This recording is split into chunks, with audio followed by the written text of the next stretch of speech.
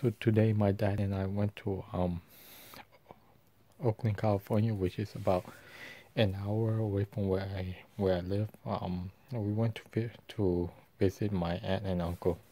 I haven't been to their house for a couple years now. This is us getting onto the freeway. My dad is driving. The last time I got on this freeway was about 11 months ago, uh, which is the last time I went to the to the hospital back in October 2016. So, so when um while my dad was driving, you know, I was just looking around. As you can see, um, by the way, this is a voiceover. I was just looking around, you know, no anxiety, and then um, you can see I was kind of smiley and whatnot because you know I I felt fine. I felt normal. I I had a couple of symptoms, but you know I wasn't dizzy. Uh, no head pressure, no wasting heart, anything like that. It's just mainly my um my neck was kind of bothering me. So which is which I mentioned why I turn my head too much because like if I if I keep my neck in one position too long, or like you know if I keep still too long, my neck gets stiff and then it hurts. And when it hurts, um, I get dizzy. It's like feels like um like my neck gets so tight that um the muscles are cramping and if I move or if I don't move my neck starts to hurt. So that's why you'll see me like moving too much. I can't like just sit still and look one look straight. This is only within a couple of minutes from us leaving um so the drive took about an hour or so but it didn't feel like an hour to me. Um which surprised me because right there you'll see me like touching my throat because I had that um you know that sensation when you feel like you're being choked at your throat. It's been it's like someone's either trying to choke you at your throat. It feels like it's closing in on you. So that's why I was touching my throat, on my neck. So this is only within like five minutes away from my house right now. Um, I didn't record the full drive there. I just recorded like a couple of couple random um, spots here and there. So I didn't want to make the video too long. Also, um, like I mentioned before, my uh, my allergies been acting up. Um, last night I, I slept pretty good, the, but then I had really bad allergies, so I was like sneezing, my nose was running, my eyes was irritating, my my throat was dry. So even though I slept pretty well, um, it took me a couple hours to fall asleep. But when I woke up, um, my allergies got worse. Um, so I fell back asleep when I woke up around seven something.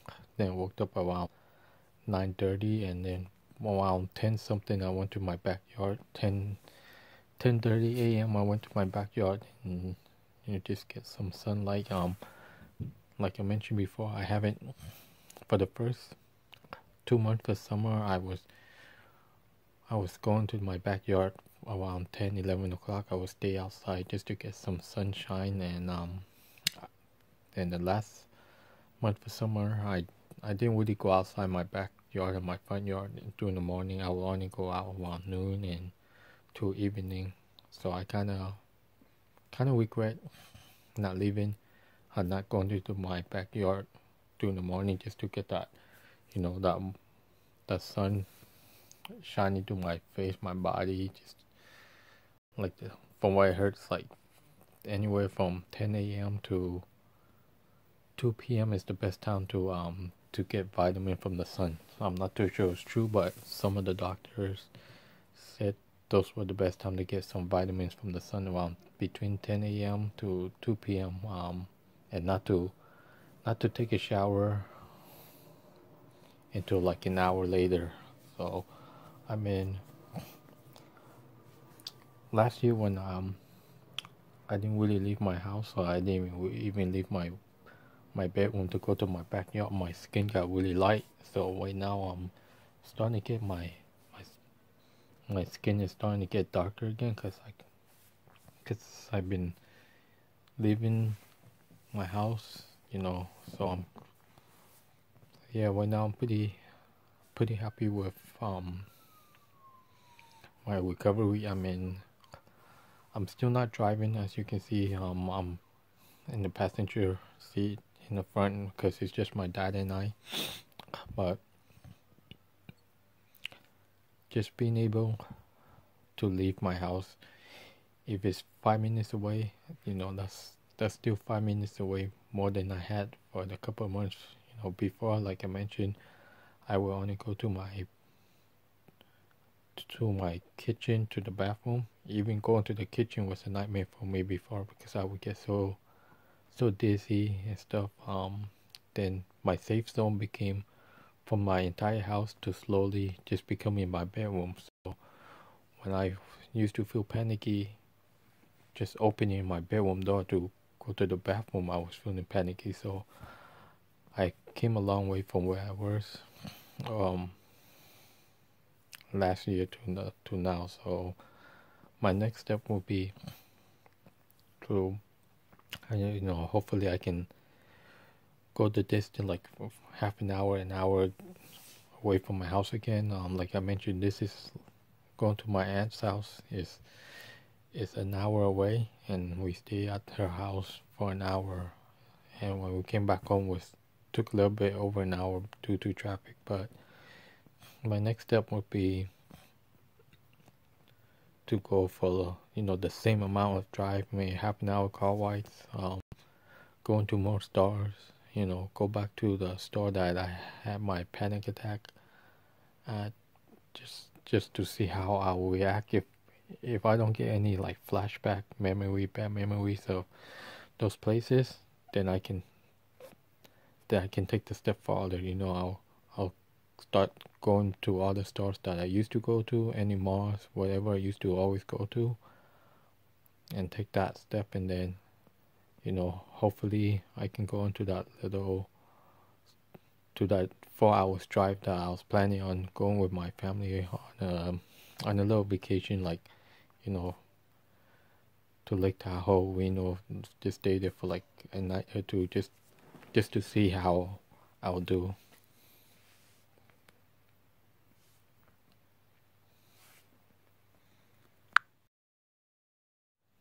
This exit we're here though we just passed is the um, same exit that where I had my first panic attack. That's why you see me like looking out there. Um, it's not too far from the Target parking lot from where I had my panic attack. Um, I was just looking around.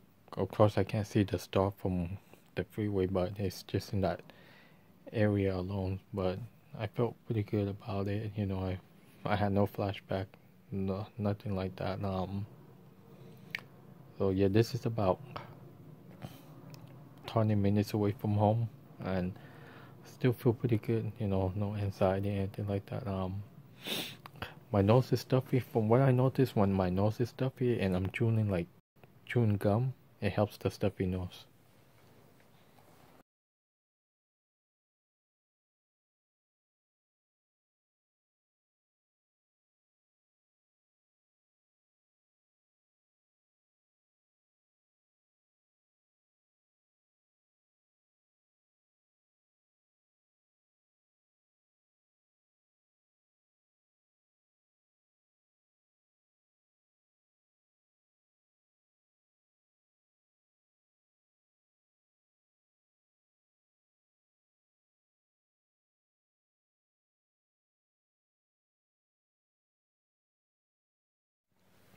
I, I, used to work in this area um, a couple of years ago. Um, I think around 1999 or 2000. So you see me looking around. It brings me back um, some some pretty good memories. You know, when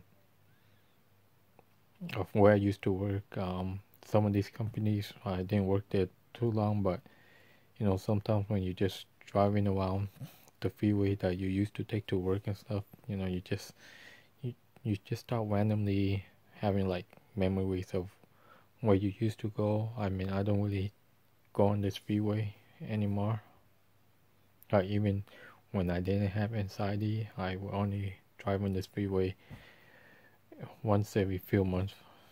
But you know, it it did bring me back some some memories. Um, when I was younger, well, when I was in my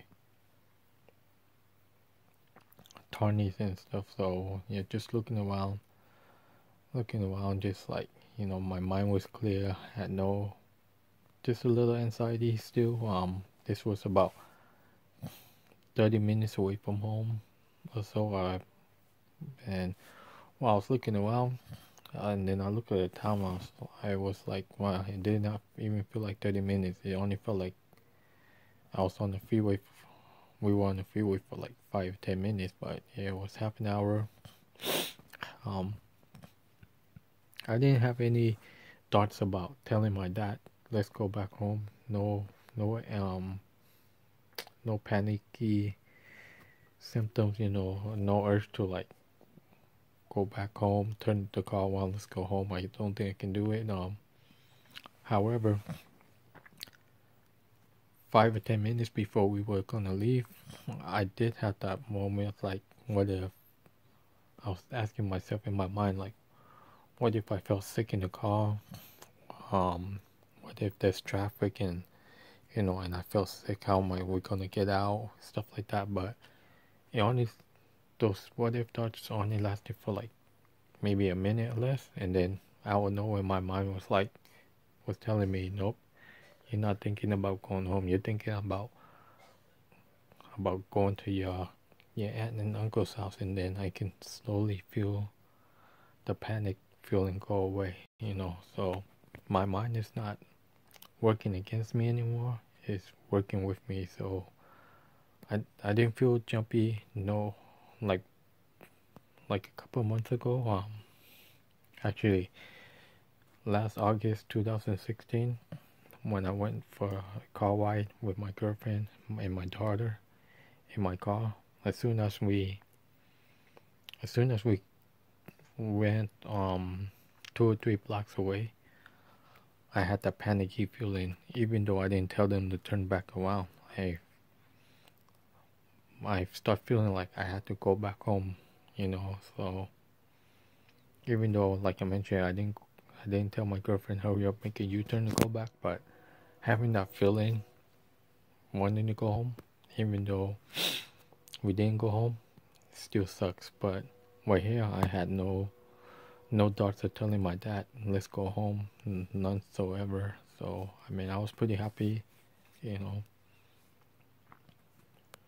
just driving, like, just looking around like everyone else, you know, being able to go in the car and go wherever, and that's how I felt today.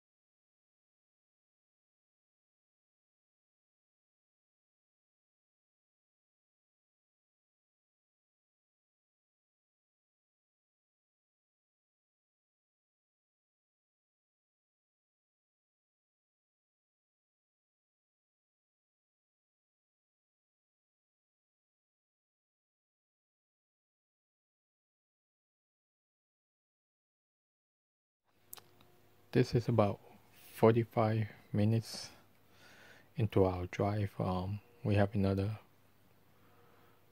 20 25 minutes to go. Still no panicky moments, nothing. Um, just enjoying the ride, you know.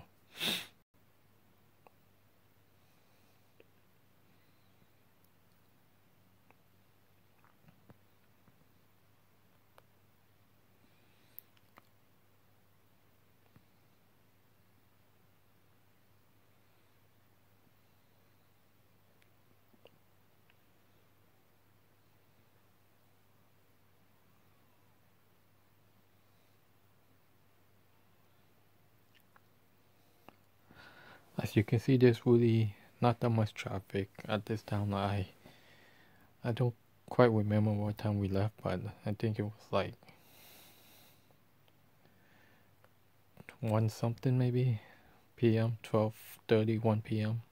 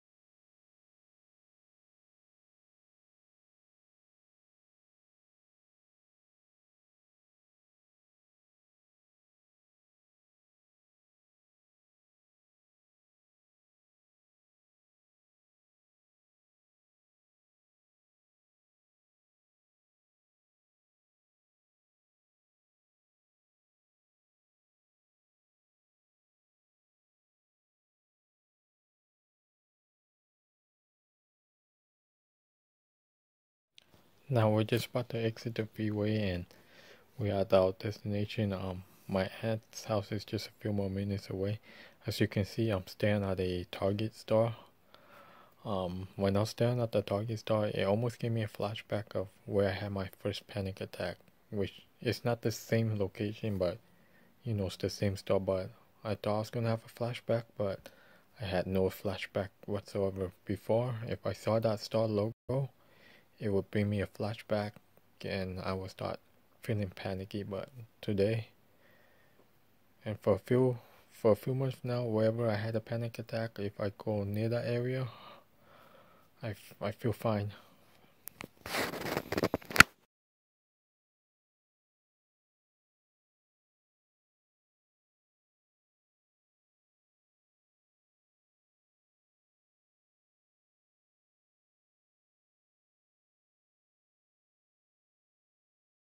This is my aunt and uncle's um house, the view from the backyard. Um, I'm zooming into, I forgot if that's the Bay Bridge or the Golden Gate Bridge. Um, I used to live in San Francisco, which is across the Bay Bridge from where they live. So, you know, that's another reason why I wanted to go because I remember they had the view of the bay from their backyard. So it, it brings me back a lot of memories, like I said. So I think that's the reason why I didn't have any anxiety because I was focused on all the good memories and nothing bad, no negativity or anything. Vừa như vậy, cô rời nhóm vào năm 2009 và chuyển sang làm họa sĩ. Đây không phải lần đầu tiên Tiffany So this is just a hyperlapse. Um, this is us heading back home. Um, there's a lot more traffic as you can tell when we were heading home. It took us a little bit over an hour. Um, we stayed at my aunt's house for for about an hour, maybe a little bit longer. Um, but it didn't feel like we were there that long. When I was going home, like I mentioned, there's a lot of traffic. Um, but I felt perfectly fine. I didn't feel I didn't feel trapped in between cars or anything like that. I wasn't in a hurry to go home you know, but my dad wanted to go home because if we left even later, the traffic would have been would have been worse. But you know, I'm happy that I went and I felt fine and nothing happened.